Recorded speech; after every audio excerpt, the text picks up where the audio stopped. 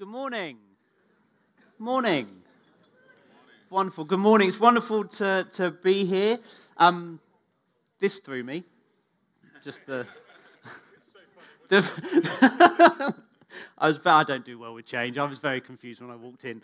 I feel like I've got a long arc of like people. I talked. Yeah. I talk, I'll walk across. It is exactly the same, but it's different. Good morning. It's wonderful uh, to, to be gathered together. I'm really excited um, to, be, to be able to start our, our new sermon series today, working through the book of Revelation.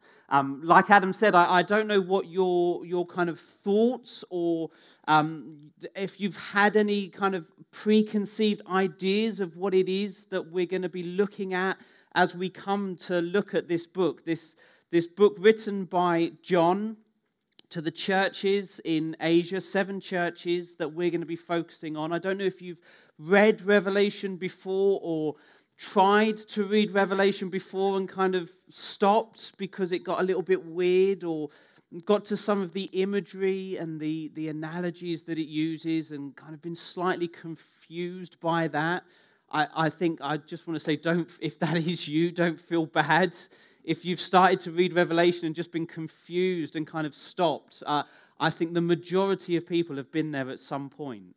Um, I, I, was talking to somebody and they, they equated uh, the, the book of Revelation kind of to when you have something recommended to you as something that somebody else has really enjoyed, like a box set or something. I don't know if you've ever been the person that, like, somebody else has come up to you and been like, oh, you need to watch this, it's so good.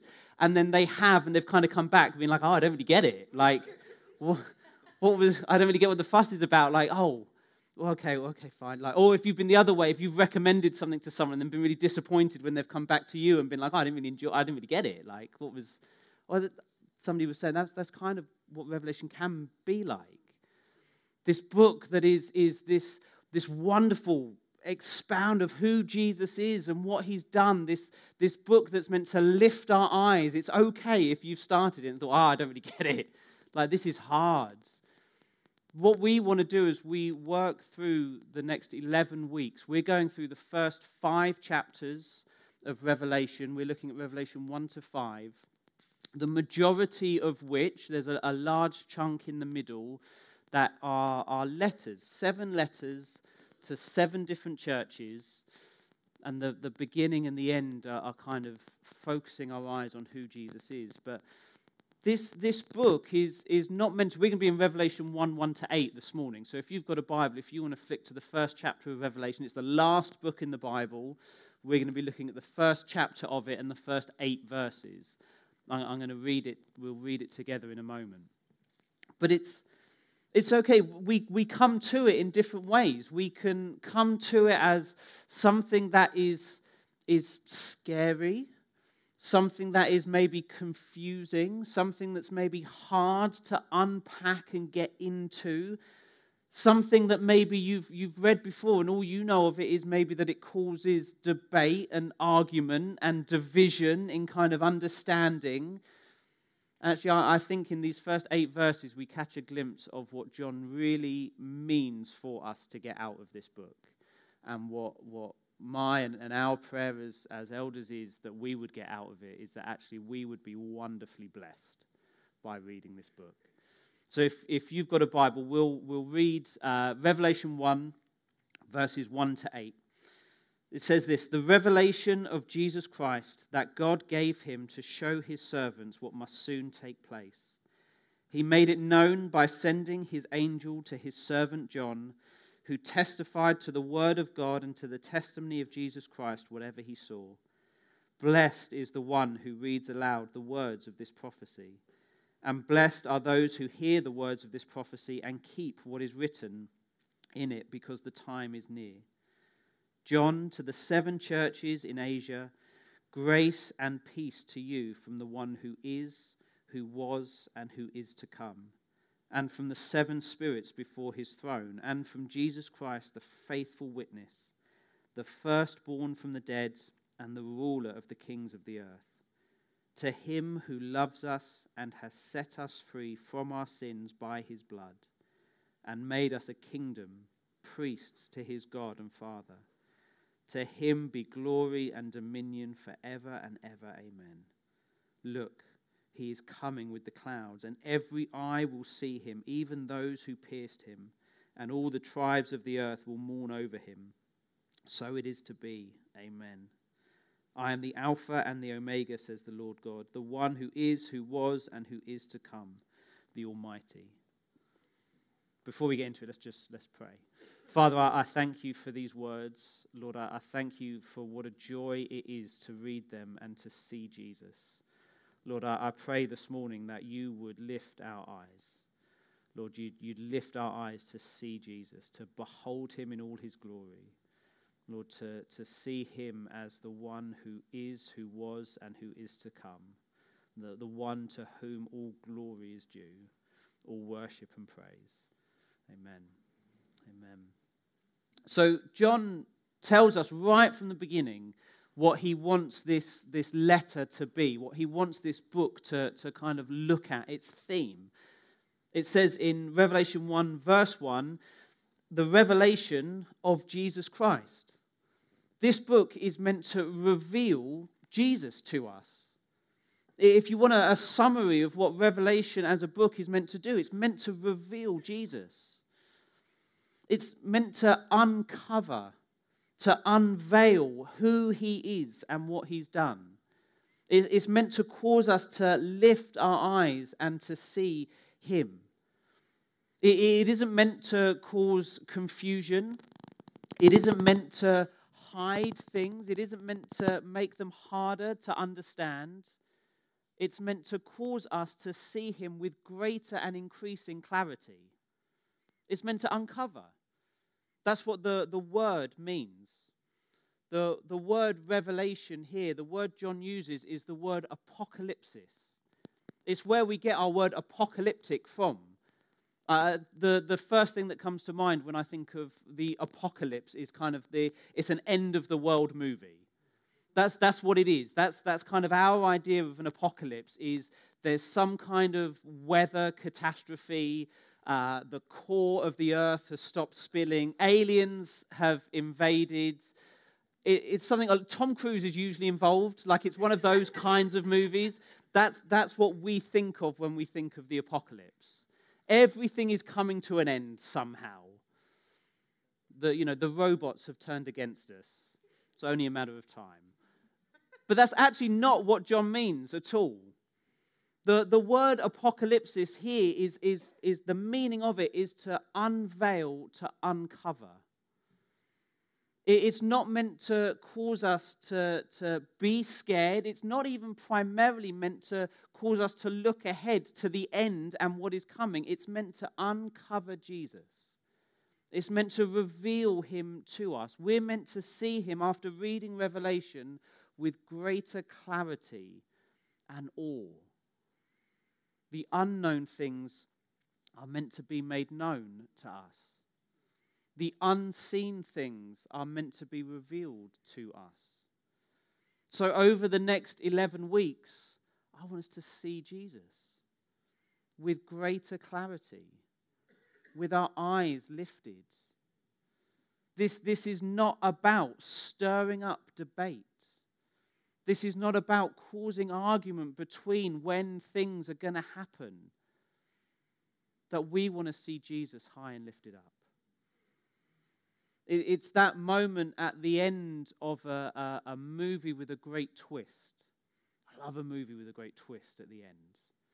It's like the end of The Wizard of Oz, when the curtain is pulled back and you see what was really going on the whole time.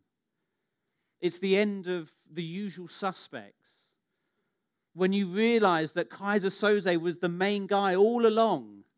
If you've, I'm sorry, if you've not seen it, it came out in like the 90s.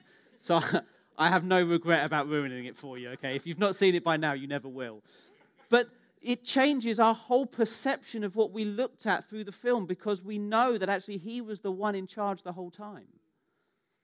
The, the, the title of this morning's sermon is Revealing Reality.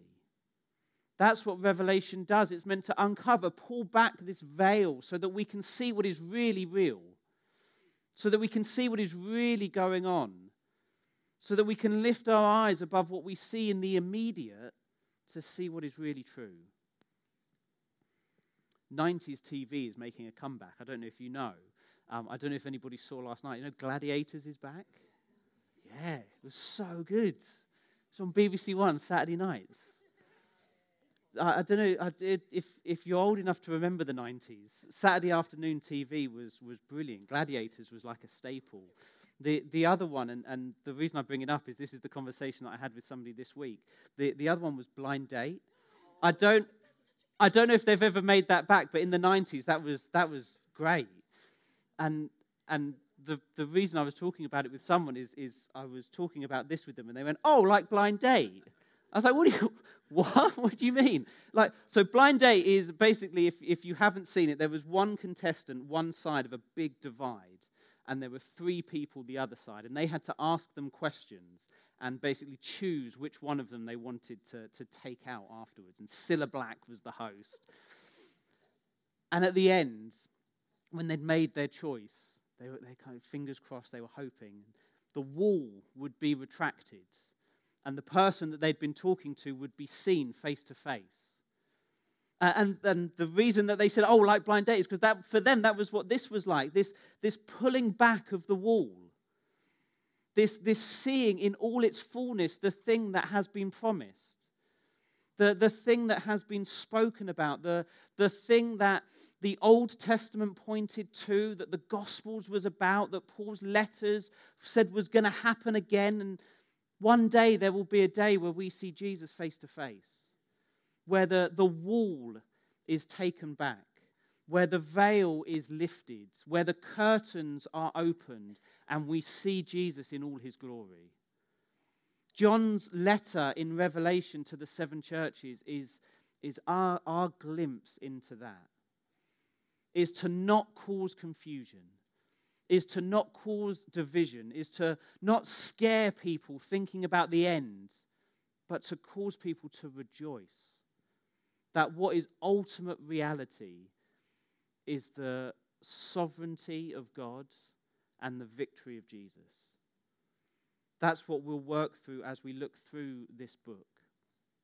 John goes on in verse 3 to say this. He gives us again the, the point of his message, the point of this letter, and what he wants people to get. He says, Blessed is the one who reads aloud the words of this prophecy, and blessed are those who hear the words of this prophecy and keep what is written in it, because the time is near. There's blessing to be had that that's, that's what it is that God wants us to take from these verses and these chapters in this book is that we are to be blessed by what we read. We're to be blessed by them. We're to hear them. We're to read aloud this book. I encourage you to go home and read this book aloud because there's blessing in it. There's blessing in its words, but not only blessing in hearing it, not only blessing in reading it, but blessing in hearing what it says and doing it. There's, there's practical application to the book of Revelation for us today to walk in. There's things that we are to do. For, for some of us, there are things that we are to change. For some of us, there is great encouragement that the things we're doing are good and faithful for some of us will hear these books, uh, these words from this book and think we, we are enduring in the trials and the, the sufferings that we're walking through, we are enduring. For some of us, there will be great challenge. For, for some of us, we'll hear the words in this book and think, I've, I've compromised in these areas. I've, I've allowed the world's perspective to creep in. I've, I've lost sight of what God says is true and what Jesus says is reality and where we're going. And I've, I've grabbed onto the promises and the fleeting pleasures that this world has to offer. I'm holding on to them as if they're true, and I need to let them go.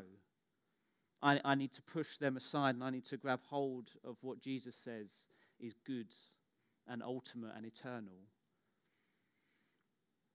You see, this, this is a letter This is a letter. This, this, isn't, this, this is a vision that John has, that God gives him to reveal Jesus to him. But then he writes these seven letters to seven churches. And these seven letters to seven churches would have been sent out to these seven churches. And they would have been read by them. And they would have been greatly challenged by them. They would have been wonderfully encouraged. But there was, there was challenge in them as well.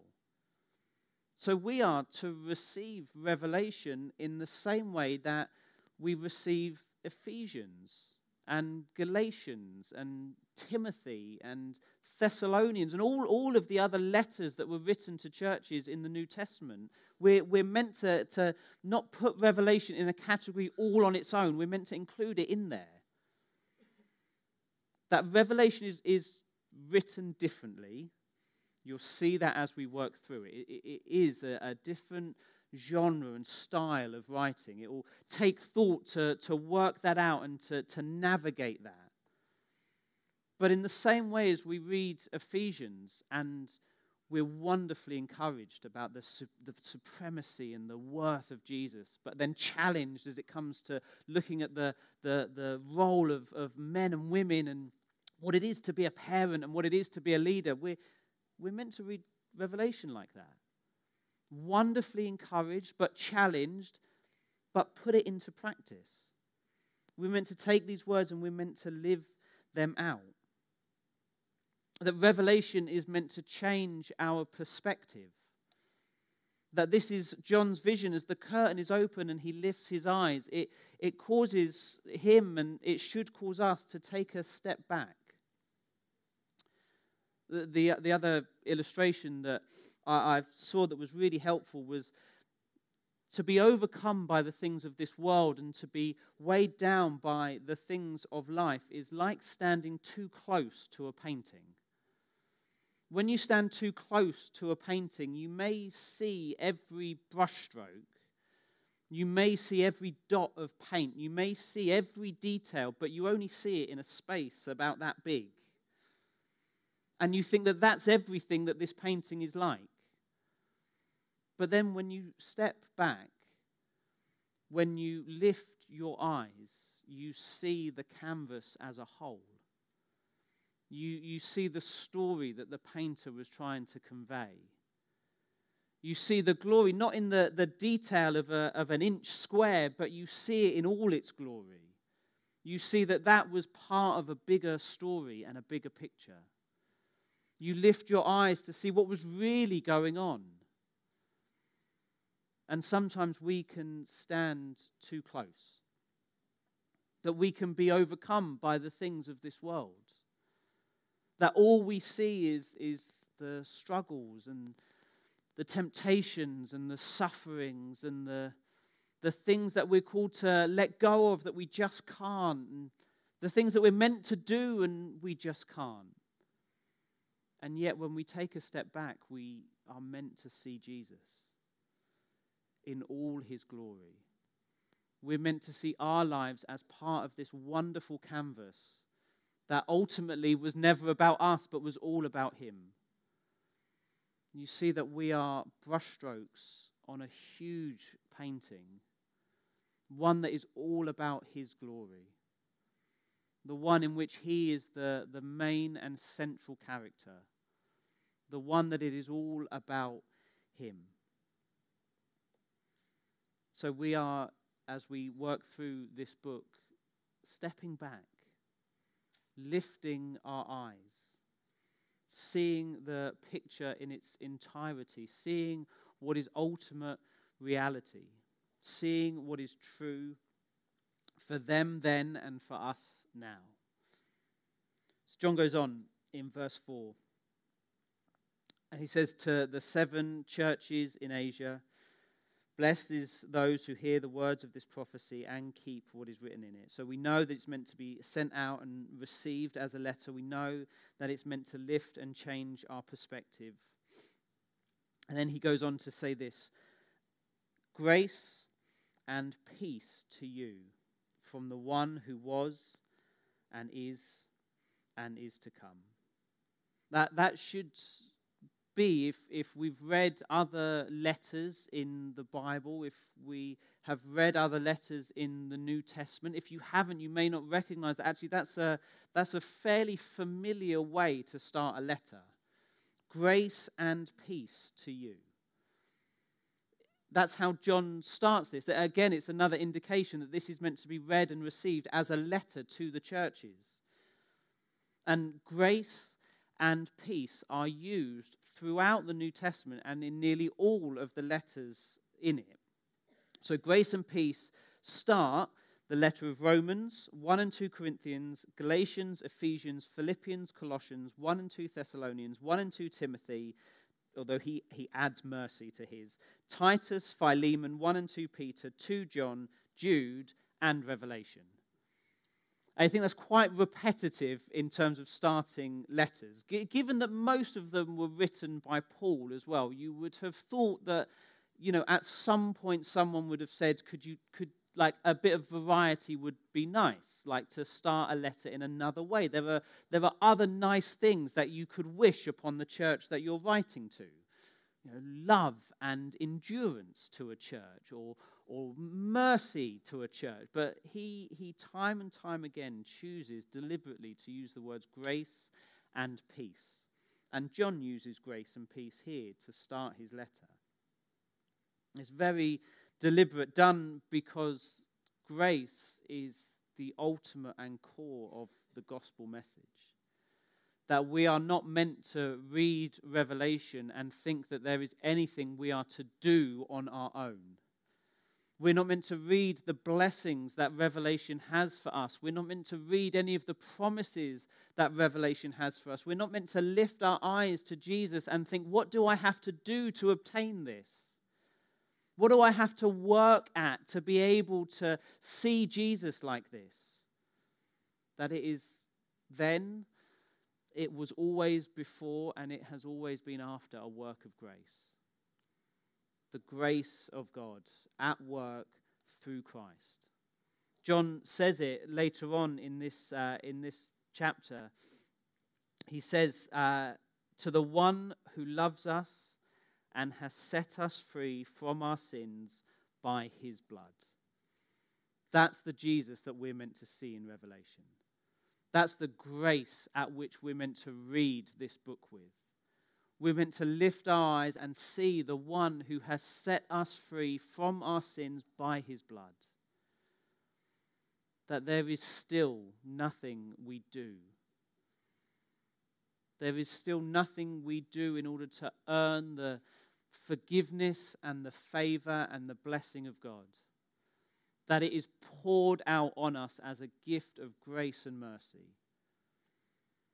Paul says it in one of his letters that he who knew no sin became sin for us, that in him we might become the righteousness of God. That John wants us to read Revelation with the gospel at our hearts. That Jesus was made sin, was treated as if he had committed every sin, even though he himself was sinless and had never done anything wrong, in order that I would be treated with the righteousness of God. It's not through work, it's not through effort, it's through grace. So as we read through Revelation, we are still leaning our, our salvation and our standing before God the Father on a work of grace, on the work of Jesus. And the next is peace. Grace and peace that as we start reading the book of Revelation, we're meant to read it with a sense of peace. The, the Hebrew word for peace and the word that the Jewish people would have used for peace is the word shalom. That word carries so much more meaning than when we think of peace. When we think of peace, we think maybe the absence of conflict the absence of, of war or fighting. You think of maybe when I don't know, you get 10 minutes to yourself, when the house is empty and there's peace. That's, that's not what John means here. And that's, that's not what the Jewish people meant when they said the, the shalom of God, the peace of God, the peace that surpasses understanding, it calls it in the Bible. See, the, the, the peace that John talks about here, the, the peace that we see through the book of Revelation, is the restoration of the peace that was lost in Genesis 3. In Genesis 3, we read the story of God creating man and walking with him in the garden. Man not going with what God had instructed, thinking that he was going to do things on his own, turning his back from God, losing this peace. And Revelation is about uncovering and unveiling our eyes to the restoration and the restoring of that. Not peace in terms of an absence of war, although that is what it, in, it entails, but a, a peace between man and God. Through and by the work of Jesus, that we can know peace with God. There was a wonderful description I read of the, the shalom of God, the peace of God, and it's described like this the everything as it should be. That's what we see as we start to read Revelation. The blessing that comes, the unveiling. As we lift our eyes and we see Jesus, we start to get a sense of the everything as it should be peace. The restoration of all things. I don't know where in life you need that everything as it should be peace. I don't know where in life it is that you're looking for it. We, we all want peace. We, we all want to find this, this joy, this lasting sense of, of being okay, of everything being all right. And we turn to anything that we hope will fill that need. We, we turn to anything that we think might grant us a sense of that peace. And for, for many, as we work through this book and we look at the seven churches, so many of them are looking for this peace, but in the wrong place. They're, they're thinking that it will be found in the promises that this world has to offer.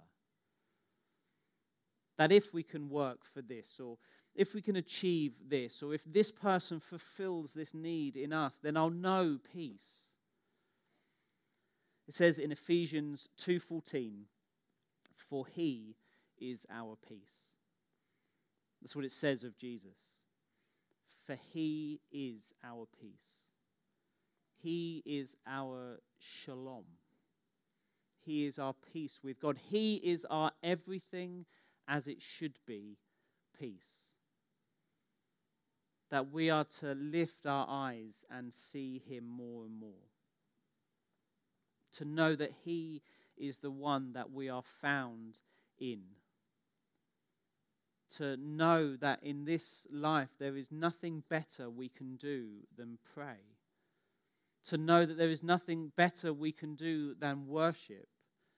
To know there is nothing better we can do than to endure because as we see Jesus, as we lift our eyes, as the veil is pulled back, that is what it causes us to do.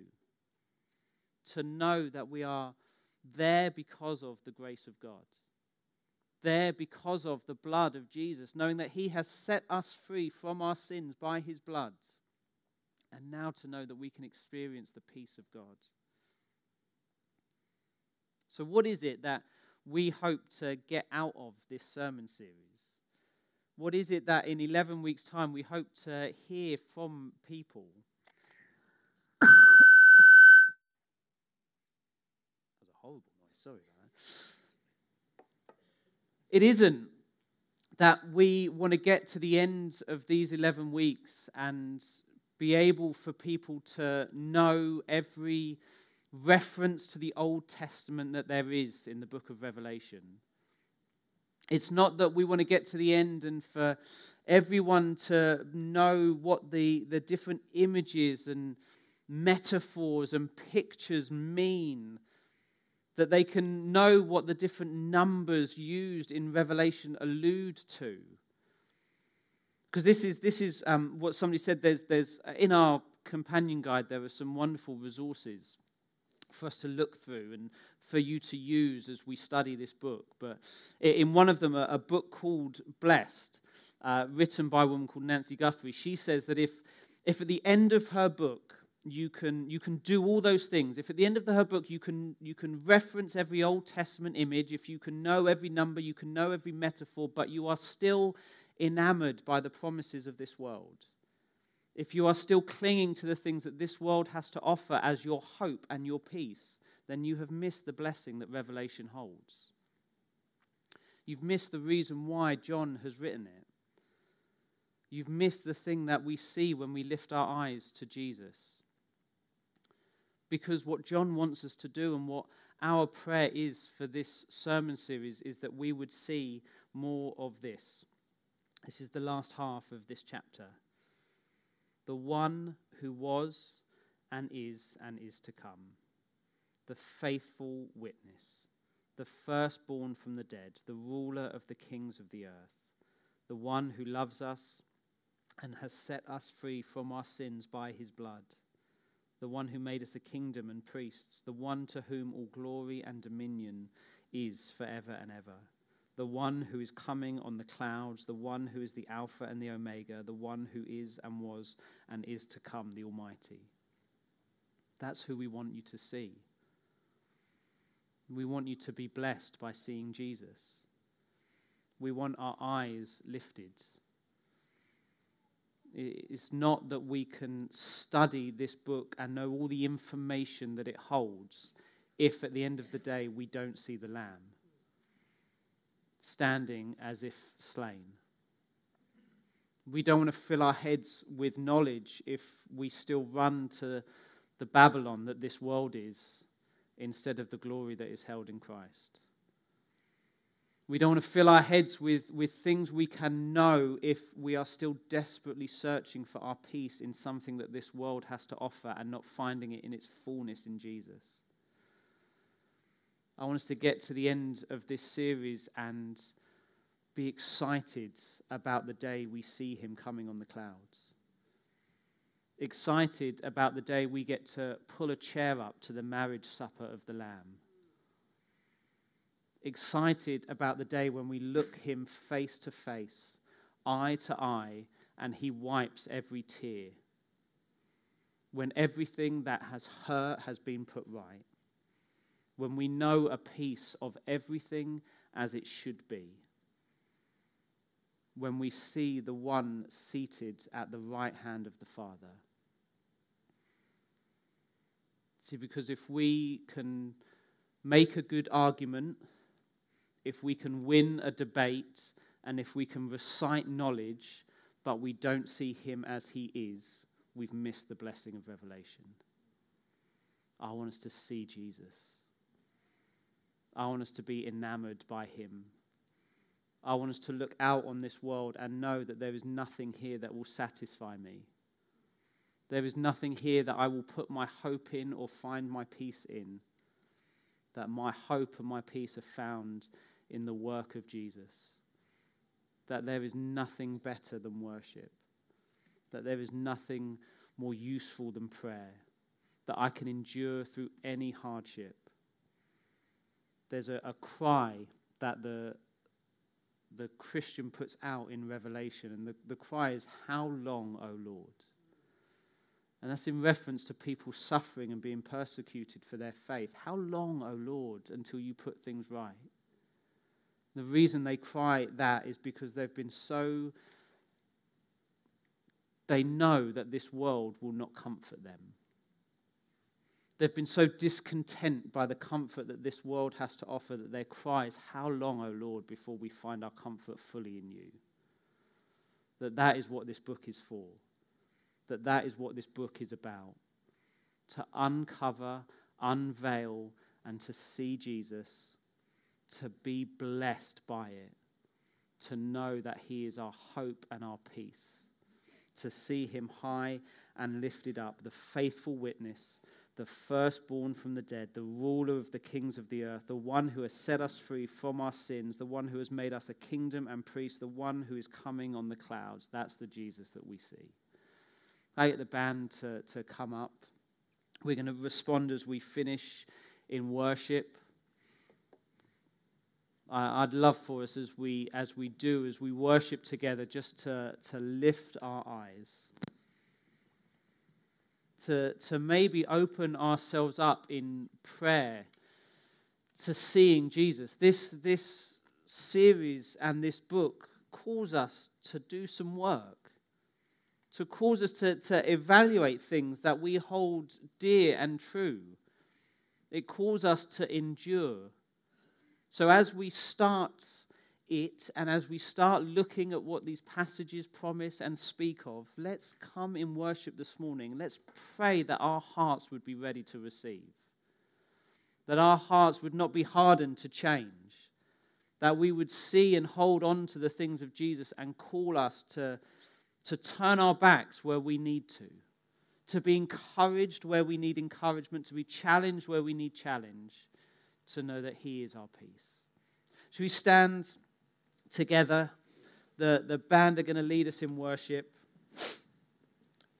If you're, a, if you're a parent, if you've got kids upstairs, if you want to go and get them now during this song so that they're back for the baptisms, let me just pray as we, as we respond in worship. Father, I thank you for, I thank you for this vision of Jesus that John has. Lord, I, I thank you that it lifts our eyes to the one who is coming on the clouds. Lord, the one who one day every eye will see. I thank you for this unveiling. Lord, I, I pray that as we work through this book, we would see Jesus with greater clarity. We would see Jesus with greater joy. Lord, we would see him as he's meant to be seen with the, the wool pulled back, the, the veil lifted, the curtain drawn, Lord, that we would see him as he is. Lord, and it would cause us to rejoice, that we would worship, that we would come and we would lay everything down before him. Amen.